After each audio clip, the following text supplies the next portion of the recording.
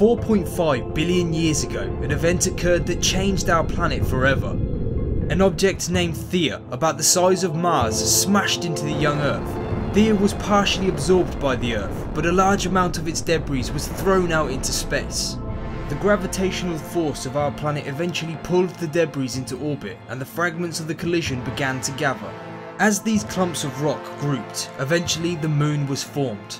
This is the leading and most accepted theory on how the moon came to be and is called the giant impact hypothesis. So what would have happened if that giant collision never occurred? If the moon that we see shining above us in the glistening night sky wasn't there? Could life on Earth be as vibrant and as diverse as we see it today? Would we, the human race, even exist? Without the moon, the Earth would be a wildly different place. Back then, because of the Earth's fast rotation, a day would only have lasted about 6 hours. With no moon to slow the rapid rotation, powerful winds of up to 200 miles an hour would sweep the Earth, and bigger violent storms would rage over the surface. The Earth's tilt would also wobble without the moon to stabilise it, taking away its current predictable fairly constant climate and seasons.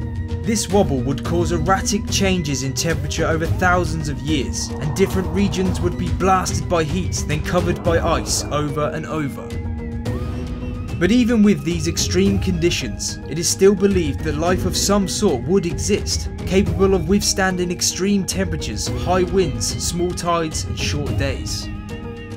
However, these life forms would more than likely be very different to what we have the pleasure of witnessing today.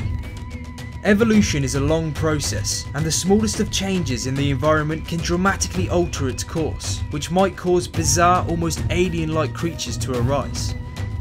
Bacterial life can adapt quickly, however complex life forms like humans probably would struggle, as they wouldn't have enough time to evolve and survive the dramatic, unforgiving changes in the environment.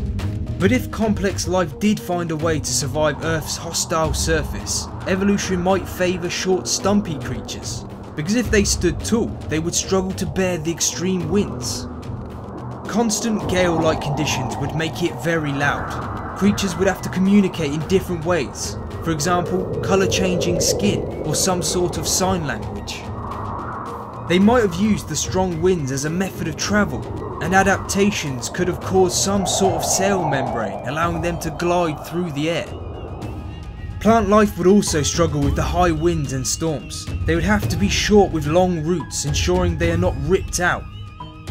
The hugely animal populated jungles wouldn't exist, meaning that creatures couldn't live in the trees or be shielded in thick vegetation from the storms.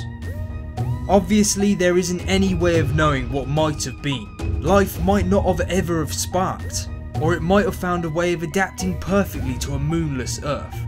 But luckily enough for us, a Mars-sized object did collide with the Earth, and as a result, helped give us the conditions for life to flourish across the entire planet.